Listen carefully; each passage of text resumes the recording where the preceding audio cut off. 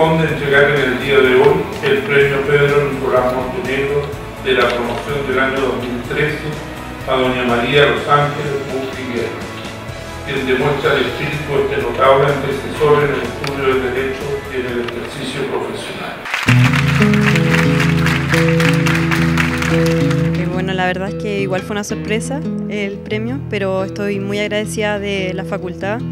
por este reconocimiento porque yo creo que en realidad nunca me enfoqué y me sorprendió de verdad ganarme este premio. Eh, y eso yo creo que es lo más importante, en realidad no hacer las cosas para obtener un reconocimiento solo por las notas, sino que en realidad eh, tener ganas de aprender. Estoy feliz, acompañada de mi familia, de mis amigos, estoy muy contenta. O sea, premia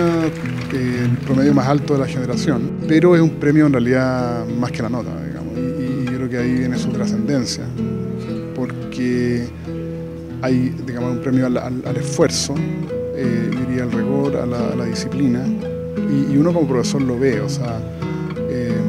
alumnos que, tienen buenas notas, eh, son personas que ponen, ponen mucho, mucho trabajo, digamos, por lo tanto, diría que